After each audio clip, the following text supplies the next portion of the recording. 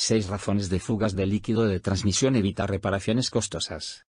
¿Sabías que una simple mancha debajo de tu coche puede costarte miles de dólares si no la atiendes a tiempo? Si has notado una mancha de líquido rojo oscuro bajo tu coche, esto podría ser mucho más serio de lo que imaginas. Hoy te voy a contar por qué tu auto puede estar perdiendo líquido de transmisión cuando está estacionado, y qué puedes hacer para evitar reparaciones costosas. No te lo pierdas.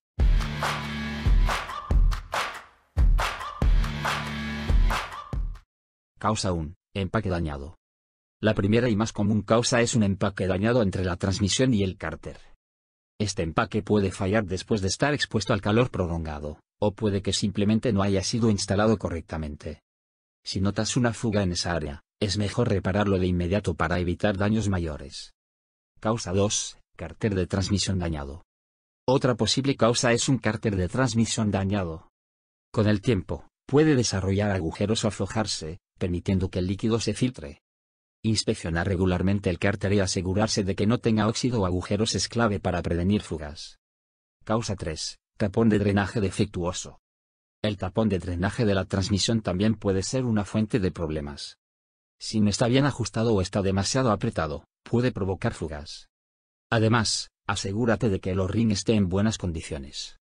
Un pequeño error aquí podría costarte caro. Causa 4. Sellos desgastados. Los sellos dentro de la transmisión también pueden desgastarse con el tiempo, especialmente después de una exposición prolongada al calor. Estos sellos están en varias partes, como los ejes de entrada y salida, y si fallan, verás cómo el líquido empieza a escaparse.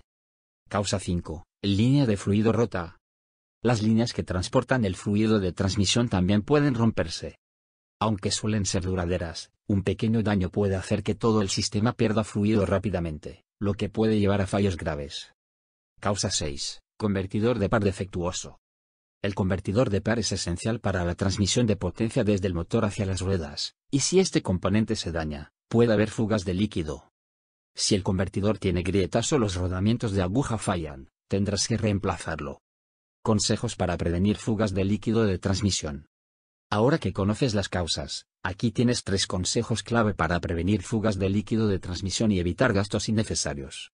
Tip 1. Revisar los niveles de líquido.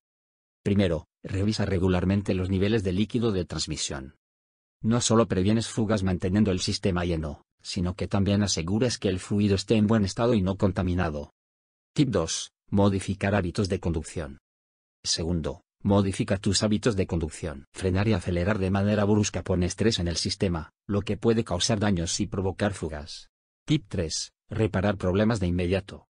Y tercero, si detectas un problema, arréglalo de inmediato. Un pequeño goteo hoy puede convertirse en una reparación costosa mañana. No lo dejes pasar. Conclusión. Espero que esta información te haya sido útil.